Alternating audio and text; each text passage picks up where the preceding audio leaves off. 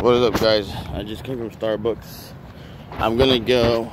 I'm I'm gonna uh, I'm gonna make some some food, and I'm gonna go live right now on some food. Remember that that that meal I made last time with the eggs? I'm gonna make that again.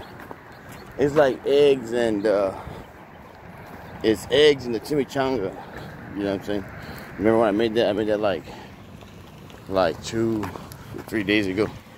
So it's like a lot of eggs, like like maybe like seven, seven or eight eggs, and uh, chimichanga. So I'm gonna make that one with some probably some other shit like for dessert, whatever.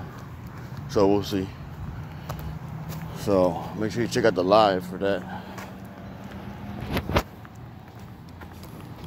And like my videos, uh, check out links in the description.